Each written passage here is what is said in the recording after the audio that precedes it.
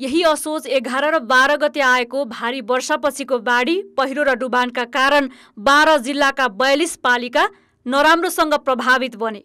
यो विपदबाट अहिलेसम्म दुई सय उन्चालिस जनाले ज्यान गुमाइसकेका छन् भने अठारजना अझै बेपत्ता छन्। मानवीय मात्र नभई कृषि ऊर्जा सिँचाइ विद्युत सञ्चार लगायतका संरचनामा पनि ठूलो क्षति भयो। जसबाट सत्र अर्ब बराबरको क्षति पुगेको सरकारको तथ्याङ्क छ। सरकारले बाढी प्रभावित तिनै बाह्र जिल्लाका बयालिस पालिकालाई तीन महिनाका लागि विपद सङ्कटग्रस्त क्षेत्र घोषणा गरेको छ। विभिन्न जिल्लाहरूमा धेरै धन जनधनको क्षति भएको छ। त्यसमा पुनर्निर्माण गर्नुपर्ने उद्धार राहत पुनस्थापना गर्नुपर्ने चाहिँ काम छँदैछ। त्यो कामको लागि अहिले हामीले चाहिँ तिन महिनाको लागि विपद सङ्कटग्रस्त क्षेत्र घोषणा गर्ने निर्णय गरेका छौँ।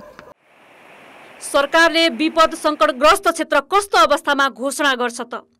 विपद जोखिम न्यूनीकरण तथा व्यवस्थापन ऐन दुई हजार चौहत्तरले विपद सङ्कटग्रस्त क्षेत्र घोषणाको व्यवस्था गरेको छ। नेपालको कुनै ठाउँमा गम्भीर प्रकृतिको विपद उत्पन्न भएको अवस्थामा विपद सङ्कटग्रस्त क्षेत्र घोषणा गर्न आवश्यक देखिएमा नेपाल सरकारले राजपत्रमा सूचना प्रकाशन गरी त्यस्तो क्षेत्रको सिमाना र अवधि तोकी विपद सङ्कटग्रस्त क्षेत्र घोषणा गर्ने ऐनमा उल्लेख छ। ऐनमा तोकिएको अवधिमा विपदबाट उत्पन्न स्थिति नियन्त्रण हुन नसकेमा अवधि बढाउन सकिने प्रावधान छ। यस अवधिमा सरकारले आवश्यकता अनुसार सरकारी वा गैर सरकारी कार्यालय शिक्षण संस्था वा अन्य संस्था केही अवधिका लागि बन्द गर्न सक्नेछ। त्यस्तो क्षेत्रमा उद्धार कार्यमा प्रतिकूल असर पर्न सक्ने कुनै काम कारवाही गर्न नदिने उल्लेख छ। विपद सङ्कटग्रस्त अवधिमा सरकारी वा गैर सरकारी कार्यालय शिक्षण संस्था वा अन्य संस्थाका कर्मचारीलाई काजमा खटाउन सक्नेछ।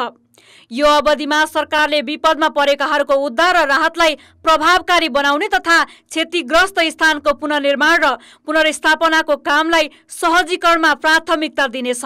खोज उद्धार र राहतलाई प्रभावकारी ढङ्गले सञ्चालन गर्न सकिन्छ। नम्बर एक कुरा। नम्बर दुई कुरा चाहिँ पुनर्निर्माण र पुनस्थापनाका लागि सहजीकरणको अवस्था निर्माण गर्नु हुन्छ यसले। तेस्रो कुरा भनेको विपद सङ्कटग्रस्त क्षेत्र घोषणा गरिसकेपछि स्रोतको खोजी गर्न र त्यसको व्यवस्थापन तथा परिचालन गर्न केही सहज अवस्था बन्न सक्छ। र चौथो कुरा भनेको विपद सङ्कटग्रस्त क्षेत्रभित्र विपदको कारणले धेरै संरचनामा क्षतिग्रस्त भएका हुन्छन्। ती क्षतिग्रस्त भएका संरचनाको निर्माण गर्नको निम्ति चाहिँ विकासलाई सरकारले प्राथमिकता प्रदान गर्छ। यी यी कार्यको निम्ति विपद सङ्कटग्रस्त क्षेत्र घोषणा गरिन्छ। सरकारले विपदको एक सातापछि प्रभावित क्षेत्रलाई सङ्कटग्रस्त घोषणा गरेको छ।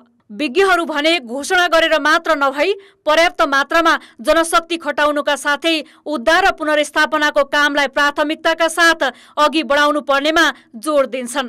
निर्देशन दिने र क्षतिपूर्ति दिने निर्णयले मात्र नपुग्ने भन्दै उनीहरूले प्रभावित क्षेत्रमा पुनर्निर्माण र व्यवस्थापनका लागि विज्ञलाई खटाएर छिटो छरितो ढङ्गबाट काम गर्नुपर्ने सुझाव दिएका छन्। सहयोग लिने वातावरण केन्द्रीय सरकारले बनाइदिएर सबै चाहिँ सरकारका संयन्त्रहरूलाई परिचालन गर्यो भने मलाई लाग्छ तिन महिनामा सरकारले राहत तथा उद्धारलाई व्यवस्थित बनाउनेछ र भएका क्षतिहरूको राम्रोसँग आकलन गरी कतिपयमा नीतिगत परिवर्तन कतिपयमा कतिपयमा कार्यक्रम तर्जुमा गरेर भविष्यमा यस्ता प्रकृतिका घटनाहरू बाढी पीडित क्षेत्रमा जहाँ जहाँ यी समस्याहरू आए राजमार्गदेखि सबैतिर यसलाई सरकारले व्यवस्थित रूपमा अगाडि बढ्ने खाका तयार गर्नुपर्नेछ।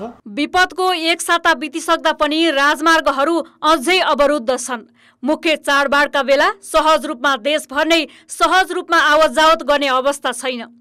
बाढी पहिरोले घर भत्काएकाहरू खुल्ला आकाशमुनि असुरक्षित रूपमा रात बिताउनु पर्ने अवस्था छ। सङ्कटग्रस्त क्षेत्र घोषणा गरिसकेपछि प्रभावित पालिकाहरूमा पुनर्निर्माण र व्यवस्थापनको काम सरकारले कसरी अघि बढाउँछ? पीडित परिवारले राहत महसुस गर्न पाउँछन् कि पाउँदैनन्? त्यो भने हेर्न बाँकी छ। कान्तिपुर समाचारका लागि क्यामेरामा रूप कोइरालाका साथ अञ्जना लामिसाने काठमाडौँ।